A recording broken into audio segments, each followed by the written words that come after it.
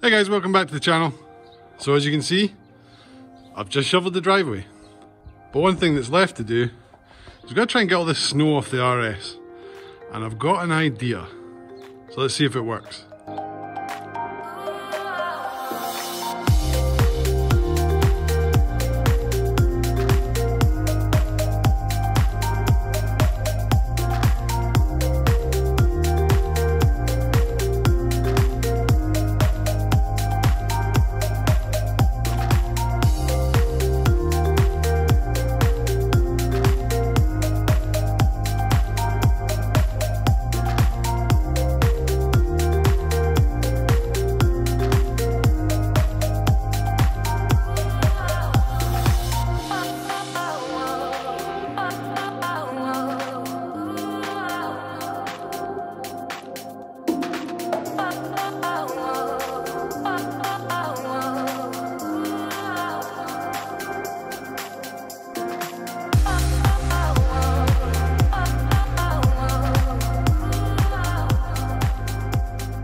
Well, that was awesomely good fun. Right, let's get the interior cleaned on this car then.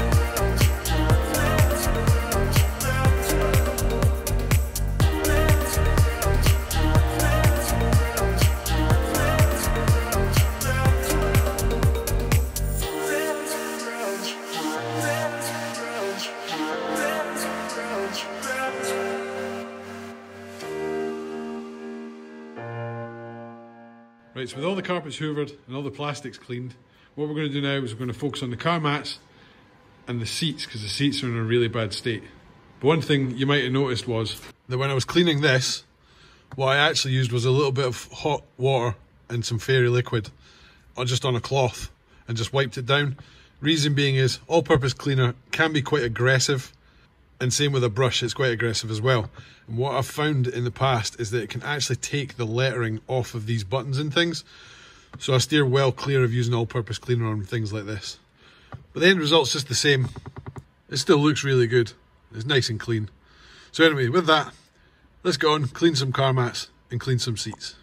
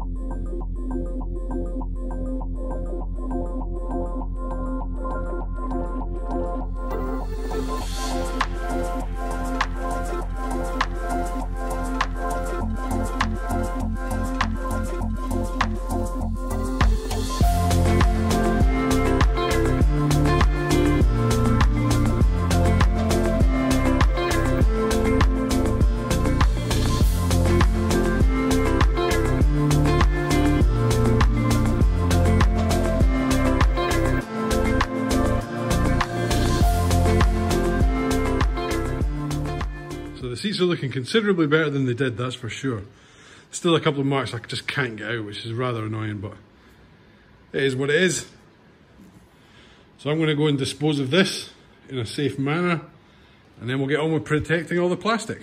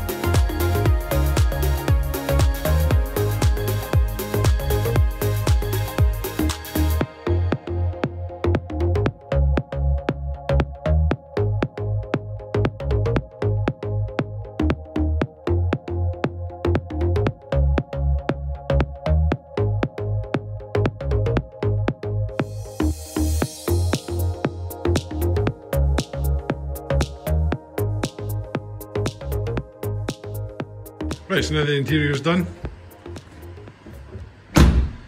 Let's give the outside a ceramic coating. And the reason why we can do that is it warmed up about 15 degrees in Scotland in the last like 24 hours.